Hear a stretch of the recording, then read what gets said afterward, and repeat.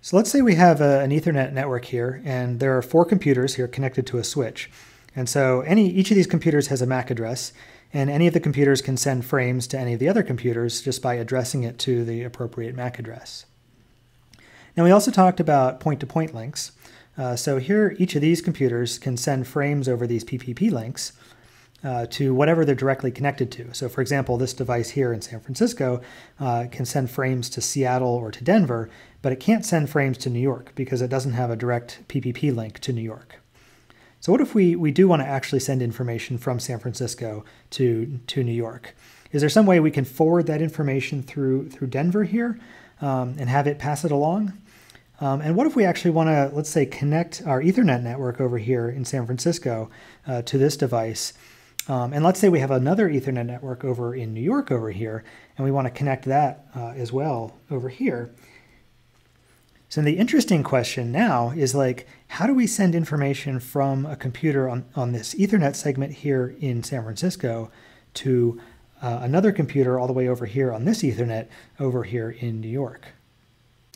So to help us explore this a little bit more, I've redrawn this scenario down here um, in a little bit more detail. So we've got our Ethernet network over here on the left, and this is this is a multi-point link here. So I've shown all the computers connected, you know, to this vertical line just to kind of uh, show that any of them can send frames to any of the other ones that are that are connected to this network. Then we have the other Ethernet network over here on the right, and what we want to do is uh, be able to send a frame from this computer over here. Let's call it host A uh, to this other computer over here on the right, which we'll call host B. Now, both of these computers are using Ethernet, so one question you might you might want to ask is what happens if this computer over here, host A, just sends a frame with, with host B's MAC address as the destination? Well, what would happen is that frame would get sent on this Ethernet, but none of the devices connected to this Ethernet here, none of these devices have host B's MAC address.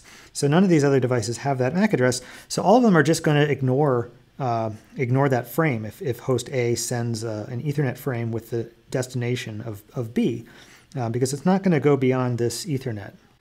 So is there some way to get this device here, this, this device in San Francisco, to, to forward that frame over the PPP link? Well, if we just did that, then we'd, we'd actually run into another problem. Because remember, PPP doesn't use MAC addresses uh, the way that Ethernet does. So when this frame got to Denver, then it wouldn't have that destination MAC address in it anymore um, because that, that was only on this Ethernet. So if we just take that frame, stick it into PPP, PPP doesn't have the destination MAC address. Uh, so Denver gets it, and Denver's not going to know what the destination is. So Denver's not going to have any idea what to do with the frame. So what, what we need is some other type of address uh, that isn't specific to Ethernet or isn't specific to PPP that we can use across this entire network. So if host B has some sort of universal address that, that's understood everywhere, then all of these devices in the middle, uh, these, these routers in the middle here, um, would be able to use that address to forward data to the right place. And so the address that we use is called an IP address or Internet Protocol address. Internet Protocol or IP address. And the word internet literally means inter or between networks. And so the internet protocol and IP addresses are, are exactly what we would use to send information between networks, which is what we're trying to do from this network to this network. And so what these IP routers do is they're connected to multiple networks. And there's some frames arriving here, uh, let's say on interface one of this uh, San Francisco router. And inside those frames is a, is a packet of data with a destination IP address.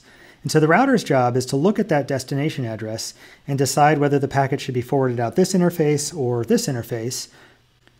And so if it decides to forward the packet out interface 3, let's say, then it will encapsulate that IP packet inside a PPP frame then and send it on to the next router over here.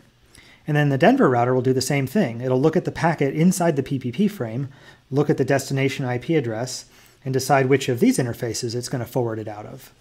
Um, so that's what routers do. They receive packets on, on each of their interfaces uh, and make a decision about which other interface to forward them out of. And so that's the, the process of forwarding. And so for that to work, each router needs to have what's called a forwarding table uh, that tells it how to get to each destination. So for example, this router in San Francisco needs to somehow learn that to get to the IP address for this host over here in New York, it should forward the packets out interface 3 and not interface 2 or, or somewhere else. And so the process of building that table is called routing. Uh, the process of actually using the table to forward packets is called forwarding.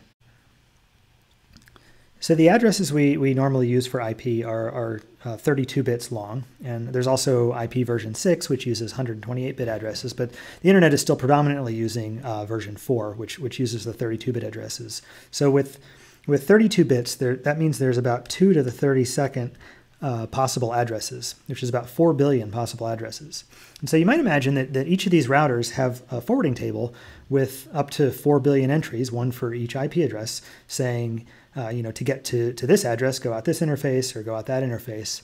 Um, and you know, in principle, we, we could do that, but 4 billion entries is in, a, in the forwarding table uh, that we'd have to look through for every packet that's forwarded is, is an awful lot.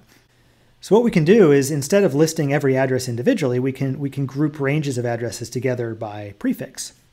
So maybe the, the IP address of this computer over here in, in New York is, uh, say, 172.17.6.2. Um, so Denver, for example, could have a route in its forwarding table that says to get to the prefix 172.17 slash 16, and I'll explain what that is in a moment, um, go out interface 2. And so when Denver receives a, a packet with the destination of this 172.17.6.2, it doesn't have to have that exact address in its forwarding table. It can just match this prefix. And so this slash notation here, this slash 16, tells us the prefix length. So the, the 16 after the slash means that this route here, this 172.17, matches the first 16 bits of the address. So if the router receives an address of the 172.17.6.2, um, or, or a packet with that as a destination, the router will be will be comparing this in binary. So what this is in binary, the 172 is, let's see, 1010, uh, 1100, that's 172, and then 17 is going to be 0001, 0001. Uh, the 6 is 00000, I'm running out of room. Let me just move this over, make myself a little bit more room. Oops, there we go. And so 6 is 0, 1, 1, 0, and 2 is 0, 0, 0, 0, 0, 1, 0. Sorry, that doesn't quite fit. But so this is this is 172.17.6.2 here in binary. So since the prefix length is 16, that means that the, the this prefix, this 172.17, will only be compared against the first 16 bits of this address, which is just up to here. So this is the first 16 bits which is just the 172.17 part. And so we can just kind of ignore the 6.2, the last uh, 16 bits of the address. So we can just ignore the rest of the address because um, this prefix matches the first part, and that's enough to know that we should forward out interface 2. So we should forward that packet that way.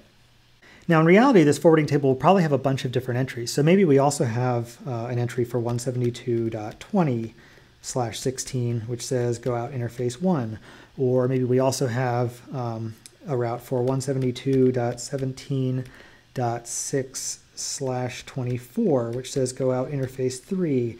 And maybe another route that says 172.17.8 slash 24, go out interface uh, 3 as well, um, and so forth. So maybe there's some more entries here.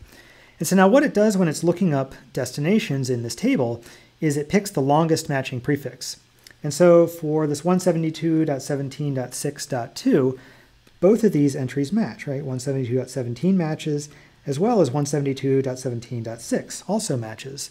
Um, and so um, because it matches both of these, what it'll end up doing is it'll end up choosing uh, this one here because this is the longer match. It's 24 bits instead of 16.